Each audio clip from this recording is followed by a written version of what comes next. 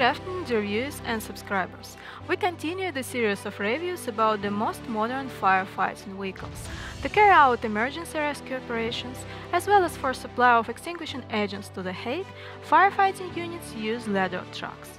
Today, we would like to present you a ladder truck mounted on the KAMAZ chassis of the K5 generation and a firefighting tanker with the ladder. Both vehicles can also be used as cranes.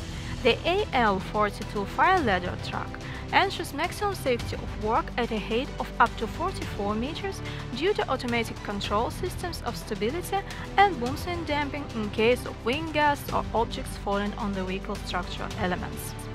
The crane basket capacity is 4 people while the ladder is able to rotate 360 degrees. The system is operated by a crew of 2 people. The firefighting tanker with the ladder has more comprehensive functionality like the transfer to a fire point of firefighting crew as well as fire extinguishing and carrying out rescue operations at a height of up to 26 meters.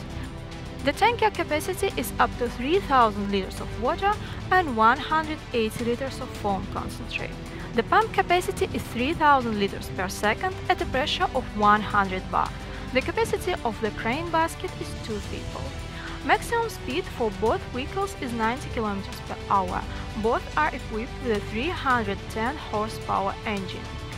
In the next release, we're gonna show you a novelty designed specifically to extinguish forest fires. Put a like, leave comments and subscribe to our channel.